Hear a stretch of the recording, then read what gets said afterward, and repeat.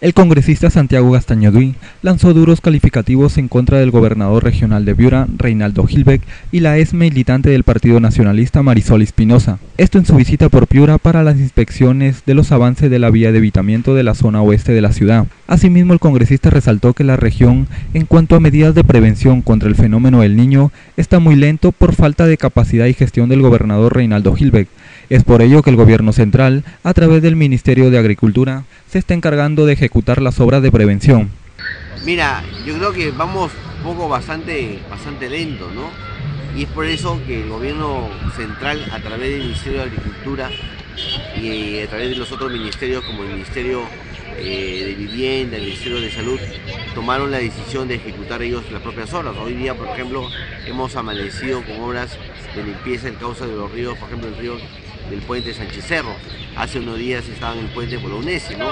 Entonces, ante la, ante la falta de capacidad de gestión regional, el Ministerio de Agricultura ha tenido que tomar esas decisiones. Acordémonos que el, gobierno, el gobierno regional tiene un nivel de ejecución bastante bajo, está creo que por orden del 28%, ¿no?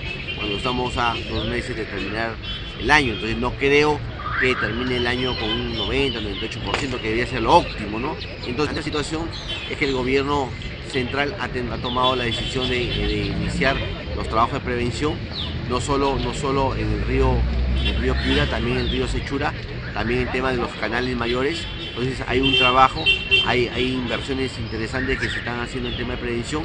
Lo que sí sería bueno hacer un llamado a las autoridades regionales y locales para hacer una alianza todos juntos en el tema de prevención. Asimismo, Gastañudí mencionó que el gobierno regional como institución no tiene la capacidad que sí la tienen otras instituciones como el Ministerio de Agricultura. Él es nuevo, él recién tiene 10 meses, pero como institución yo creo que sí tiene algunos problemas el gobierno regional, no tiene esa capacidad de gestión que de repente tiene otras instituciones, como por ejemplo el, Ministerio, el Ministerio, el Ministerio de Agricultura, ¿no? El Ministerio de Agricultura en los últimos meses lo, este, hemos visto muy activo, ¿no? Haciendo muchas zonas de prevención.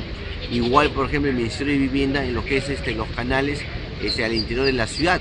Hemos descolmatado ya algunos canales importantes como, como el Petroperú, como el Turquía, ¿no? y seguimos descolmatando no solo en la provincia de Piura, sino también, por ejemplo, en lo que es este, este Sullana.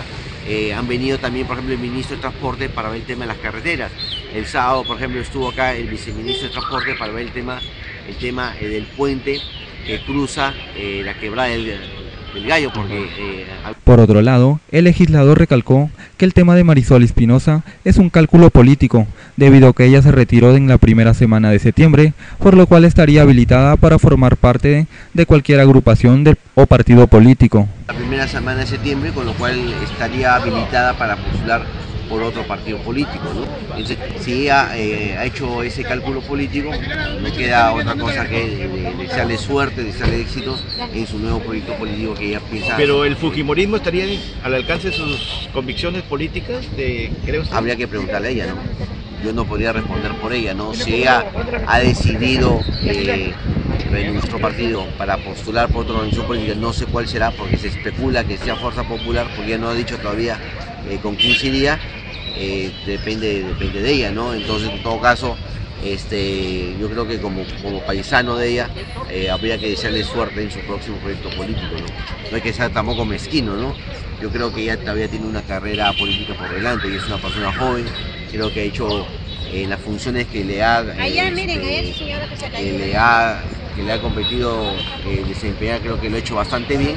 En todo caso será su decisión si, o, si se aleja de la política o si se mantiene en política, pero ya a través de otros partidos políticos.